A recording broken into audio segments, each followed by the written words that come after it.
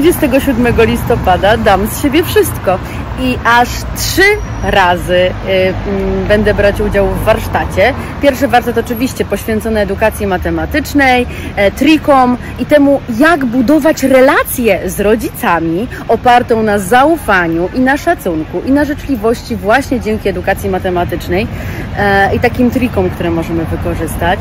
Drugi warsztat, no to oczywiście Pan Miłosz i Pani Zuzia, czyli ruch plus muzyka równa się matematyka.